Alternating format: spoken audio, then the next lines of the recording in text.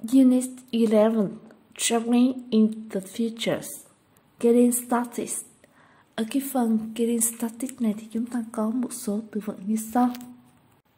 Campsite, Danh từ khu cắm trại, điểm cắm trại. On time.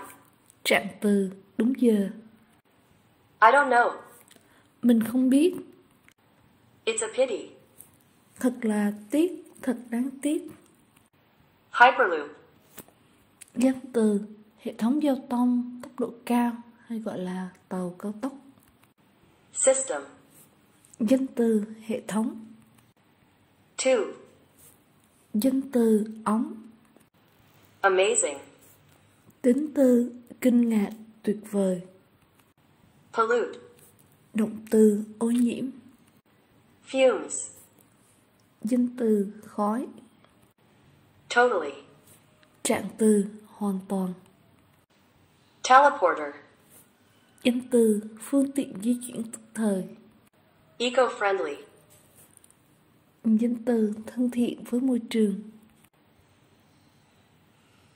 Mode, mode of travel, Phương thức di chuyển. Worry about, Lo lắng về. Hope, Động từ hy vọng.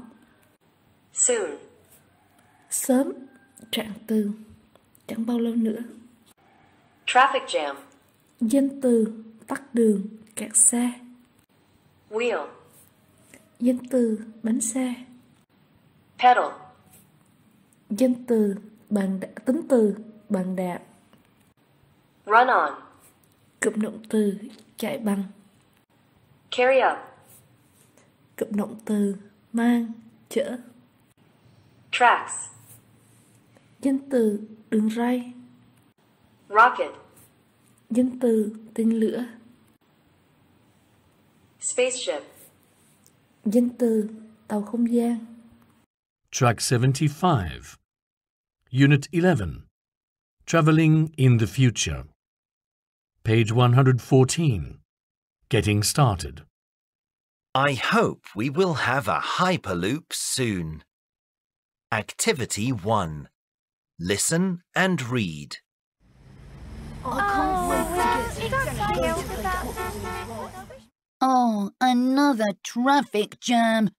How will we get to the campsite on time now? I don't know. It's a pity that we don't have a Hyperloop now. What's a hyperloop? It's a system of tubes. You can go from one place to another in just minutes. Amazing! Even faster than a flying car. Yes, and there are no traffic jams. Will it pollute the environment? No, there will be no fumes, and it's totally safe. Like a teleporter?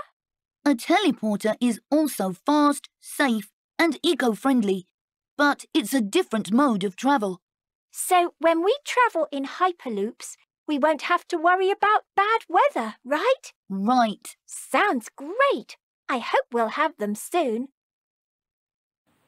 Unit 11. Traveling in the Future. Page 114. Getting started. I hope we will have a Hyperloop soon. Activity 1.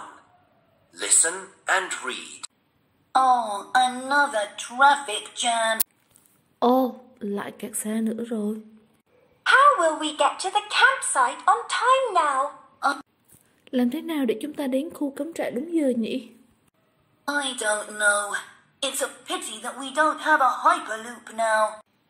Mình không biết Ờ, Thật tiếc khi ờ, chúng ta không có hệ thống giao thông tốc độ cao Bây giờ What's a hyperloop? Hệ thống ờ, giao thông tốc độ cao có nghĩa là gì? It's a system of tubes. You can go from one place to another in just minutes. Đó là một hệ thống ống Bạn ờ, có thể đi từ nơi này đến nơi khác Chỉ ờ, trong một vài phút Amazing! Even faster than a flying car. Thật là tuyệt vời Thậm chí nó còn nhanh hơn một chiếc ô tô bay ư Yes, and there are no traffic jams. Đúng vậy Và ở đây ờ, không có nạn kẹt xe nữa Will it pollute the environment? Nó sẽ gây ra ô nhiễm môi trường đúng không? No, there will be no fumes and it's totally safe. Không, nó sẽ không có khói và nó hoàn toàn an toàn. Like a teleporter? Nó giống như phương tiện di chuyển tức thời đúng không? A teleporter is also fast, safe, and eco-friendly, but it's a different Phương tiện di chuyển tức thời thì cũng nhanh, cũng an toàn và thân thiện với môi trường. Nhưng đó là một phương thức di chuyển khác. So when we travel in Hyperloops, we won't have to worry about bad weather, right? Vậy à, khi chúng ta đi bằng hệ thống giao thông tốc độ cao thì à, chúng ta sẽ không lo lắng về vấn đề thời tiết xấu đúng không? Right. Đúng vậy, Sounds great. I hope we'll have them soon nghe có vẻ hấp dẫn đấy. Mình hy vọng chúng ta sẽ sớm có chúng. Activity 2 What are An and Min talking about? Minh và An đang nói về cái gì? A. Traveling by teleporters à, Du lịch à, bằng à, cổng dịch chuyển, phương tiện dịch chuyển B. Future modes of travel à, Các phương thức đi lại à, trong tương lai C. Being in a traffic jam là bị tắc đường. Quay trở lại nội dung của cái bài đọc chúng ta đọc lúc nãy thì chúng ta thấy là đây là cuộc trò chuyện của hai bạn nói về cái hệ thống giao thông mới trong tương lai. Thì chúng ta sẽ chọn ở đây đáp án sẽ là đáp án B Future modes of travel.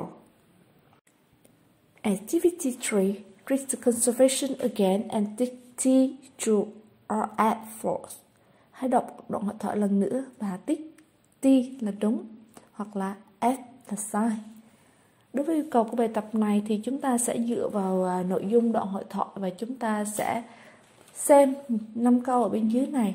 Câu nào đúng thì chúng ta sẽ tích vào cột T và câu nào sai chúng ta sẽ tích vào cột S. The first sentence An and Nun are in a traffic jam now. An và Minh bây giờ đang à, bị à, kẹt xe. Đúng hay sai? Thì quay trở lại à, bài đọc chúng ta tìm thấy câu đầu tiên. Bạn Minh có nói là Oh, another traffic jam. Oh, lại kẹt xe nữa rồi. Thì câu này đúng với nội dung của bài đọc nên chúng ta sẽ tích vào cột tiên nhé. Number 2 An and Minh are going to school. An và Minh đang đi đến trường. Khi mà bạn à, An nói là How will we get to the campsite on time now? À, làm thế nào để chúng ta đến cái địa điểm cắm trại đúng giờ được nhỉ? Thì à, đây là hai bạn này đang đi đến cắm trại chứ không phải đi đến trường. Vì thế câu này sẽ là câu sai. Chúng ta sẽ tích vào cột F. Number three, An knows a lot about hyperloops. À, bây giờ thì An biết rất nhiều về hệ thống giao thông tốc độ cao. Đúng hay sai?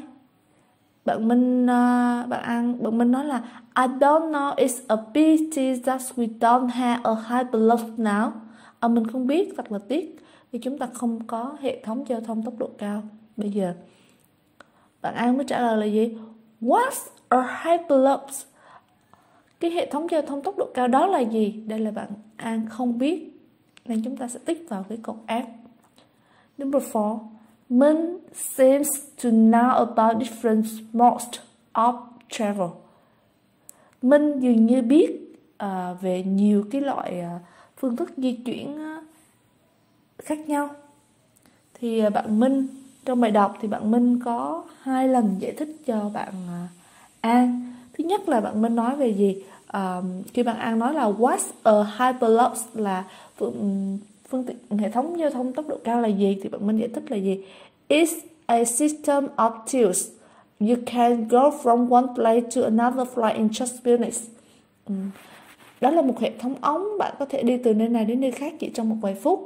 Và khi bạn uh, An hỏi tiếp là like a teleporter, uh, nó giống như cái phương tiện di chuyển tức thời đúng không? Thì bạn Minh giải thích là gì? A teleporter is also fast, safe and eco-friendly, but it's a different mode of travel.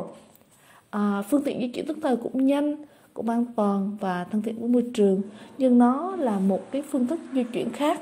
Thì đây là những kiến thức mà bạn Minh biết về những loại phương tiện à, khác nhau trong khác nhau vì thế nên câu này là câu đúng chúng ta sẽ tích vào cột tiên number five they hope there will be hyperloops soon họ hy vọng rằng à, sẽ sớm có tàu à, hệ thống giao thông à, tốc độ cao, hay gọi là tàu cao tốc đấy. Thì bạn Minh gửi câu cuối cùng thì bạn An có nói là gì? So bright, I hope we all have them soon. À mình hy vọng là chúng sẽ sớm có. Câu này đúng với bài học nên chúng ta sẽ tích vào cột T nhé. Activity 4. Find the words and phrases that describe the means of transport in the conservation and write them in the correct columns. Hãy tìm các từ và cụm từ miêu tả các phương tiện giao thông trong đoạn hội thoại và hãy viết chúng vào đúng cột. Đối với yêu cầu của bài tập này thì người ta cho mình hai loại phương tiện giao thông trong bài đọc đó là uh, hệ thống giao thông tốc độ cao Hyperloop và um, teleporter phương tiện di chuyển tức thời bây giờ nhiệm vụ của chúng ta là chúng ta sẽ dựa vào nội dung của đoạn hội thoại. Chúng ta sẽ tìm các từ và cụm từ miêu tả hai cái loại phương tiện này để đưa vào hai cột. Đầu tiên, chúng ta sẽ tìm trong cái uh, Hyperloop, hệ thống giao thông tốc độ cao thì có những gì? Hệ thống giao thông ờ, tốc độ cao thì đây là một ờ, hệ thống ống a system of tubers tiếp theo là gì? Nó nhanh hơn ô tô bay faster than a flying cross à, ờ, nó không có kẹt xe no traffic jams nó không có khói no fumes và nó an toàn safe.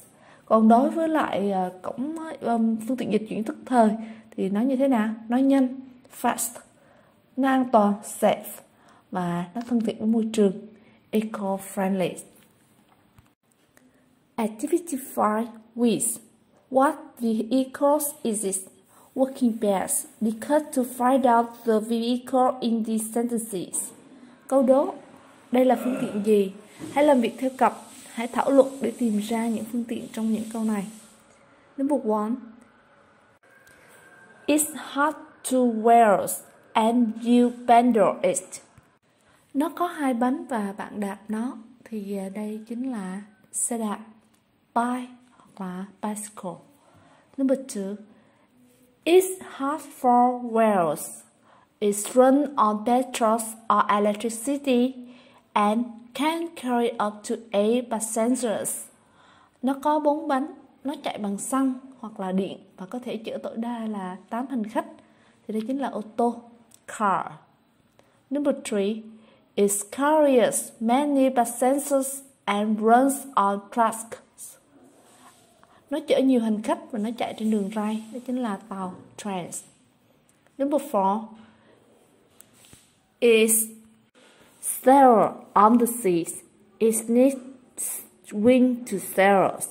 À, nó căng bồm trên biển à, nó căng gió để chèo thuyền thì đó chính là sailing boat number five is travels in it can even carry billboard to the moon nó di chuyển trong không gian thậm chí nó có thể chở người lên mặt trăng thì à, có thể đây là tàu không gian hoặc là tên lửa rocket or ờ, spaces what do you think the vehicles will be like in the 15 years?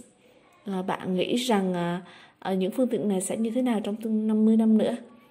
Um, I think the vehicle will be used in 50 years and they bees very modest, safe and good for the environment.